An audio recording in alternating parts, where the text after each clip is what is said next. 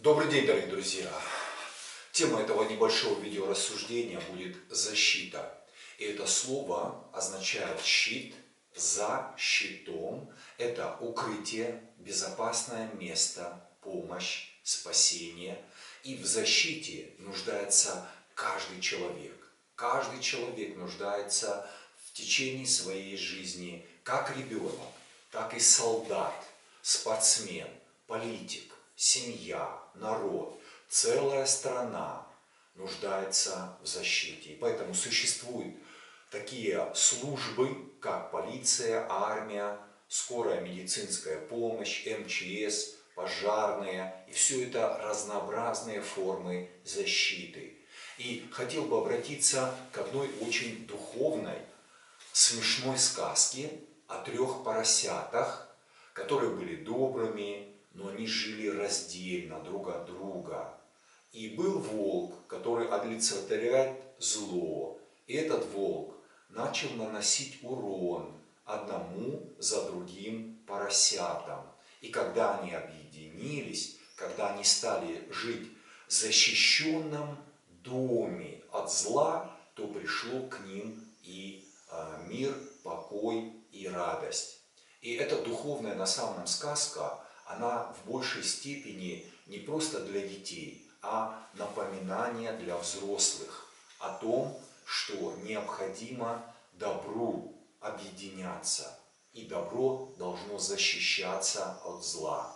И защита бывает как не от, от непогоды, так и врага, болезни, бедности, засухи, одиночества и много-много чего еще другого. Но в любом случае защита, она делится на две составляющие – духовную и физическую. Вот о физической защите многие люди знают и размышляют. Многие люди покупают очень хорошие двери, замки, э, сигнализацию, нанимают охрану, а вот о духовной э, защите мало кто размышляет. Но когда люди ищут духовную защиту, она у многих ограничивается походом в храмы. И это необходимая составляющая. Но надо искать защиту в духовном мире у Бога. И в Библии я хотел бы сказать о том, что есть 11 стихов о защите. И слово «защита» в этих стихах упоминается. Хотел бы привести только два стиха. Исход, 23 глава, 20 стихом, и стоит там следующее. «Вот я, — говорит Бог, — посылаю ангела хранить тебя». Оказывается, Бог посылает защиту человеку в виде ангела. Второй стих, Второзаконие, первая глава, 30 стихом. «Господь Бог ваш идет пред вами, Он будет сражаться за вас». Вот такой убедительный, полный э, утешения стих для каждого верующего Бога человека. И, конечно же, двери необходимо закрывать, но защита вся только от Бога.